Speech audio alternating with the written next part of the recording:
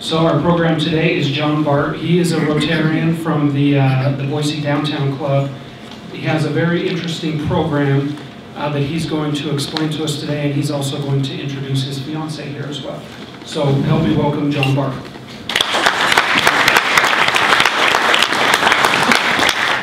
Thank you. Can, if I talk like this, can you all in the back hear me? Good, good. I can move around a little bit. Yes, my, my fiance, Marlene Gast, who is also the uh, communications director for this program we'll be talking about. Um, I want to begin, though, by saying first how pleased I am to be visiting such a large and impressive Rotary Club. Uh, it, it's a real pleasure to see so many people here. Also, I want to mention that Ken Howell is a member of our club. I just think so highly of him. I think he's going to be a wonderful uh, uh, district governor, district governor for us. And one of the things he says as he goes around, he'll say this to you when he comes, is if you send me an email, you'll get an answer. If you phone me, I will call you back. And he means it. and I urge any of you anytime who have an idea about how Rotary can be run better, get, get in touch with Ken. He is a super, super guy. Also, before I start the presentation, I want to say that I am the incoming chair of the Global Grant Subcommittee for the district. So I will be handling applications for global grants starting the 1st of July and lasting three years. We are very anxious to get some new global grants and I'm personally committed to helping anyone who wants to write a global grant to learn the, the fairly intricate process and be the resource you can turn to. So I urge you to get in touch with us if you have an interest in that area. Okay, I want to talk about Sierra Leone, West Africa today, and um, I think I have got this on right. So Sierra Leone is in West Africa, right there. It's about the size and shape of South Carolina. Uh, the capital, Freetown, has, is the only large city, a couple of million people, a mixture of um, modern, modern cars, terrible traffic jams, uh, right next to terrible poverty. But we don't work there. We, we work out in the countryside. This all used to be tropical jungle. It was, it's thought to have been cleared uh, perhaps uh, 150 years ago. It is gently rolling land, as you can see, and we, we work in the small, remote villages like this one, trying to reduce poverty. Sierra Leone, until last year, uh, for many years, had been ranked by the World Bank as the poorest country in the world. Now it's about 12th poorest. So th this is real, real poverty. Uh, here's another village, and um, and another showing a, a little bit lusher vegetation. The, uh, th this is just one indication of the poverty. You see lots of schools like this, just thatch and sticks, and the, the thatch doesn't last very long.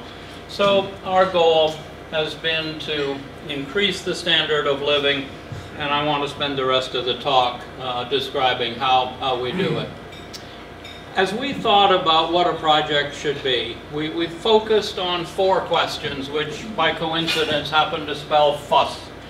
The questions are, how feasible is the project? Do, do, will we be able to do what we say we're going to do?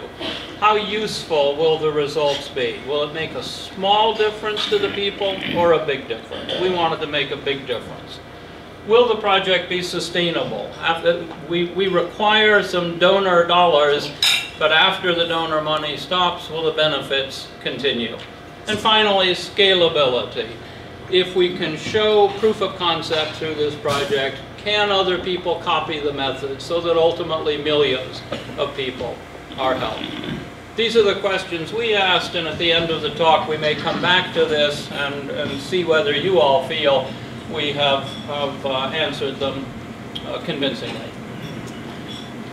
Okay, I, want to, to start with in a fairly general vein by thinking about what makes a functioning community, because that's what we're trying to create here. And if you think about it, really a lot of it depends on the jobs. Adults who are able to work and can work generally do work, and they make more than they need to feed themselves and their family. And those dollars either directly or indirectly support lots of community services like health and education and good roads and access to the internet and so on. That, that's how communities, for example, here work. The problem in a developing country, of course, is the jobs don't exist. They are subsistence farmers. They, they barely make enough to feed themselves and their family, and sometimes they don't make enough even to do that. They certainly don't make a surplus that can be used to support the additional services that are so important. Now many groups come in and focus on those services, typically one of them, like schools or like health. And they often do quite a lot of good while they're there. But eventually they move on. And because there isn't the economic engine, the, the benefit that they have done usually doesn't last very long. This is a widely recognized problem. Lots of people have written about it. This is not simply me.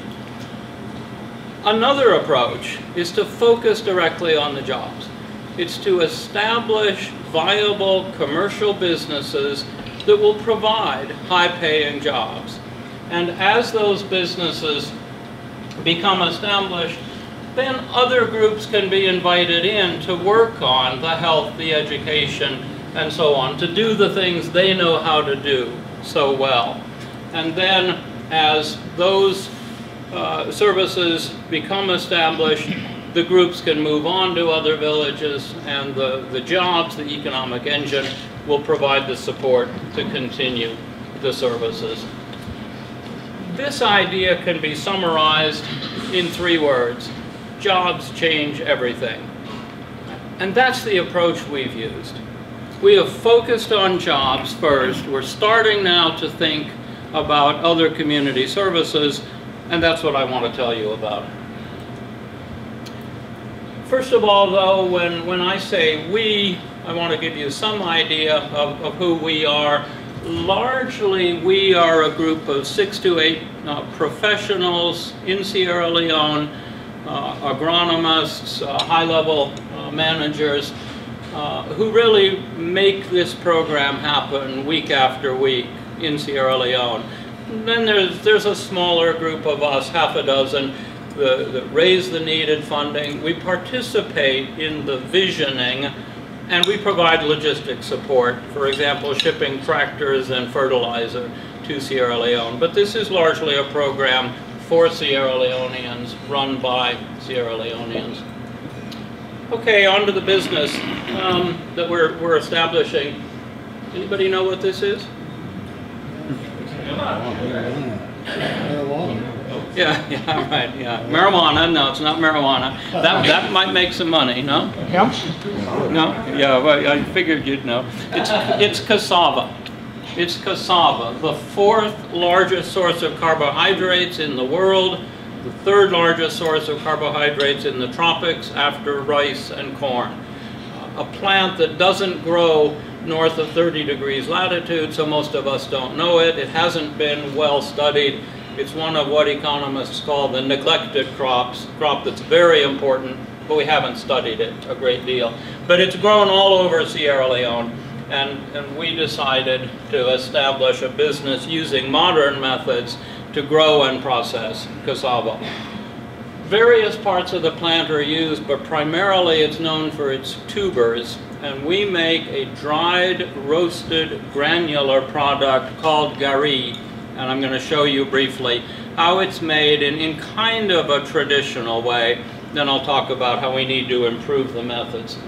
So the first step is to dig up the tubers and carry them to the nearest road and then transport them to the processing center where they are peeled uh, almost exclusively by hand, but, but that's not a viable approach, but, but they, they have to be peeled somehow.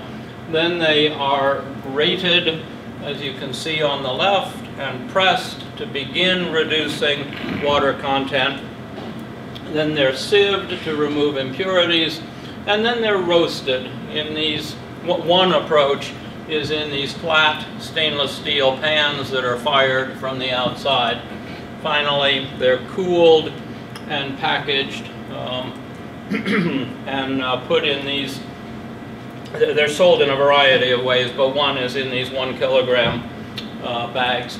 Another way is to uh, put them in 65 kilogram bags and take them to a large market in the uh, northern part of the country. The, these are trucks full of gari bound for Senegal, so it, it's a large market. Um, yeah, I'm, I'm, I'm gonna go somewhat quickly because I'm hoping that there will be some discussion afterwards. So what we need to do to improve this process is to bring in mechanized farming, particularly tractors, of course, and we need a modern processing center. And we're seeking money now from Rotary International uh, to establish um, these things. Okay, so that is the business that we're establishing. Uh, we've been studying this for about four years, uh, but really quite intensively. I, I, think it's fair to say we know more about producing uh, cassava and, and some of the products probably than, than anybody else in West Africa. So it, it, it's been quite an intensive effort. And, and here are some results focused on this point about we have to provide good jobs for people in the community. We have 180 acres of cassava now We'll increase that to 250 acres. That will make uh, 4,000 tons of tubers annually, 1,000 tons of this product, gari. Um, this business has to be managed by somebody from a developed country initially. People in Sierra Leone, many of them are extremely smart and extremely motivated, but they don't have the experience of managing a modern business. And so we have signed an MOU with the Peace Corps under which they will recruit someone to, to come in and manage the business as long as needed. And I don't think we know right now how long that will be. What's an MOU? A memorandum of under, understanding, just an agreement. So we project 358,000 in gross revenues, uh, annual income, we will gradually increase the salaries of people working on the farm and in the factory until they are 20 to 30 dollars a day. That's about seven times the rate that they get at present if they can find employment, which most of them cannot. So it's a big increase in salary. It's what's needed for them to be members of the middle class. And if we pay them that rate, then we project having about 100,000 a year left over in profits, half of which will be used to expand the business and half to carry out community projects. So that's our business plan. Um, we, have made lots of gari, we've sold it, etc. Uh, but we do need the, the, the, larger tractors and the processing center to really establish a, a going concern.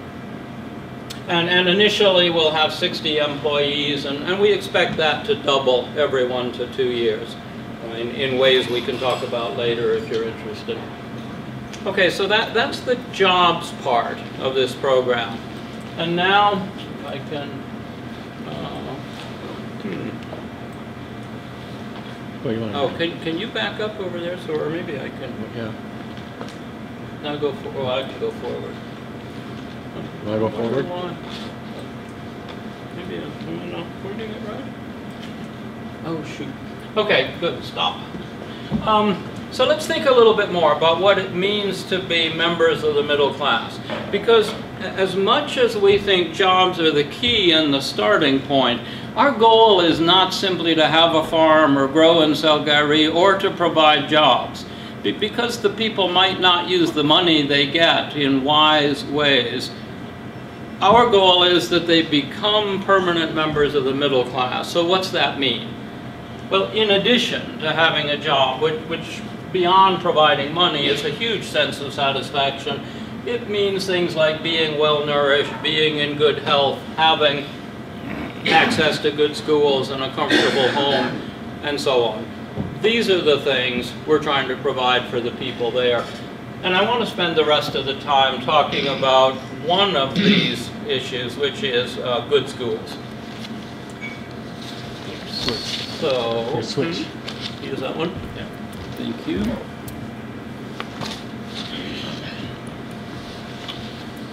So I showed you um, a, a- really terrible school a little while ago, not uncommon, unfortunately. There are also a lot of schools like this that were built but not using very good methods, and so they've disintegrated. And one of the things, the most obvious thing we want to do is build better schools, a- and this in fact is a school that we built, and it was built to replace that one you just saw. Uh, so we, we did that, we, we know how to do this kind of work. Um, and and we, we found that, that just providing just providing better education. We didn't just build the school. We brought in school supplies and textbooks and we provided scholarships for both students and teachers.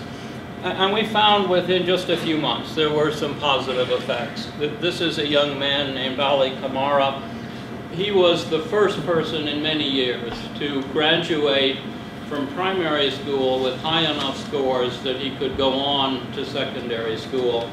First time in many years that had happened from his village. So, so there are benefits, even though we're not, just by working on schools, getting the comprehensive change we want. Uh, I was in the country about uh, six months or a year maybe after this.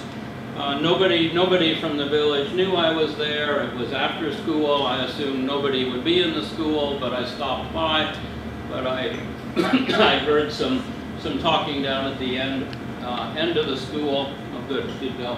And there were, there were a bunch of kids um, practicing, uh, practicing their lessons on their own with no teacher because they, they wanted to pass the exam too. And, and believe me, that, that would not have happened with the, the building you saw before. So, so there are some benefits. But I want to talk about the, uh, the education program we want to put into place um, in its entirety. We're now working in a different area. This is the school um, in the village where, where we are, are uh, establishing our factory.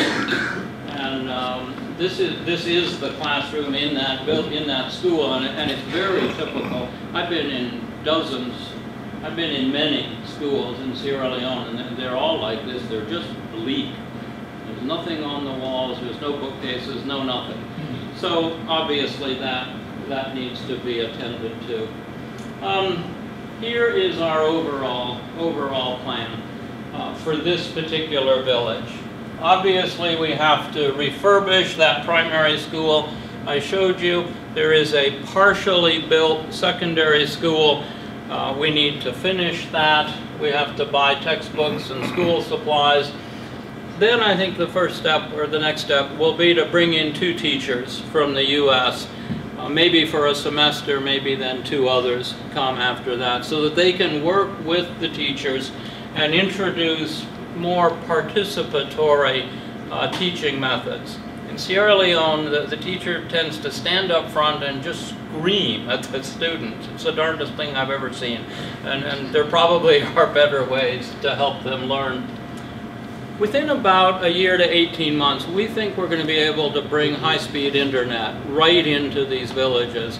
It's already in a city about 14 miles from us. There's a big debate right now about who the local providers are going to be. But once that's resolved, all we have to do is build a small tower and we'll be able to bring high-speed internet uh, right in. And then the last thing I want to talk about is to build even better schools. And this is something we're really excited by.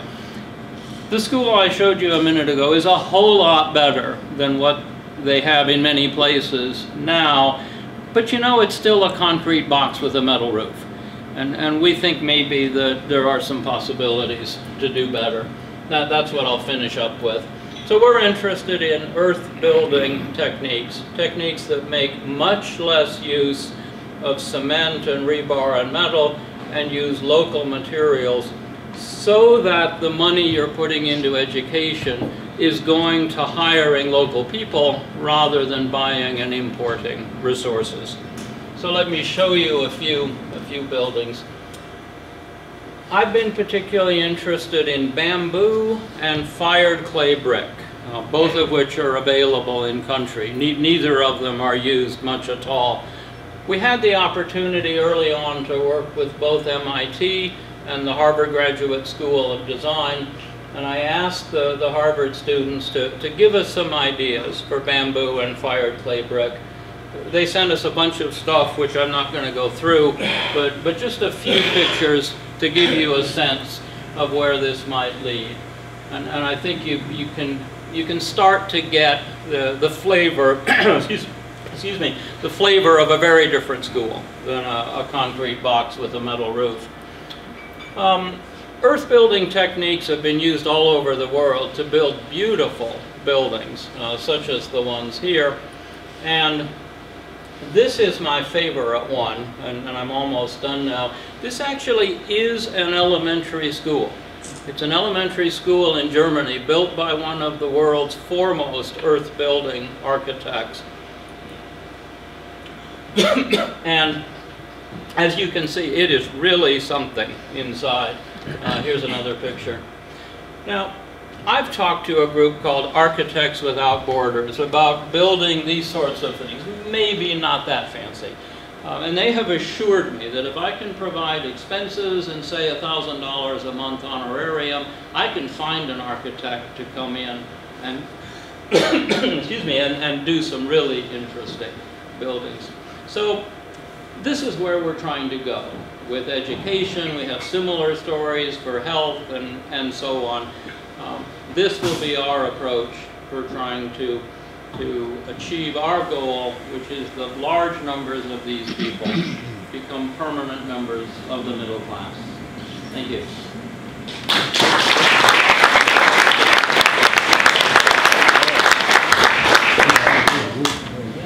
Do we have time for? Does anybody have any questions for Jon? Yes, sir. I'd like to know more about the cassava. Okay. Uh, I assume when you, you dig it up to get, to get the tubers or roots, then, uh, you replant immediately another crop? Or do you have two or three crops a year, or, and, and then when they grind it and make it all into those little plastic bags, what do you do with it? Okay, yeah. Cassava, cassava is an interesting plant. I say that it's the opposite of a potato. A potato, once it's ready to be harvested, has to be harvested, and then it has a very long shelf life. Cassava is the opposite. When it matures, voice is going, when it matures, it can then stay in the ground for 18 to 24 months. And that's one of the reasons we focused on cassava, because it can provide employment year-round. It needs to be planted at the start of the rainy season, which is in May. So harvested whenever you want to, plant it, plant it in May. Um, it, it's a cutting that is planted, not a seed. Uh, as far as what we do with those packets, they are sold directly to consumers. The, the gari is eaten as a snack food directly, and it's used as a thickener in soups and stews widely consumed. Our, our production will be two and a half percent of what's sold in our market area. So a, a thousand tons is, you know, it's, it's roughly 40,000 tons sold in the area. So widely consumed substance. Yes, sir. You don't need to worry about rotating the crop to something else? That's an the soil. interesting question. Um, we are shipping in fertilizer from the U.S., and there, have been a number of trials with fertilizer of using, uh, of, of planting cassava year after year after year. The longest one has gone for 30 years with no decline in productivity. The, so the big reason, though, for rotating is disease. It's to prevent disease buildup. So far, that's not been a problem in Sierra Leone. I suspect we'll rotate anyway, because we're, we're very conservative. Um, but you don't necessarily have to. Yes? What's the primary language of Sierra Leone? In other words, if you bring uh, U.S. teachers over, is there a communication problem? Um, a small communication problem. There are two main tribal languages um, and, and a bunch of others, but everybody knows how to speak an English African language they call Krio, and it's K-R-I-O. There's no French, it's not Creole. Um, and, and like I say, it has an English vocabulary and an African grammar. It's pretty easy to pick up.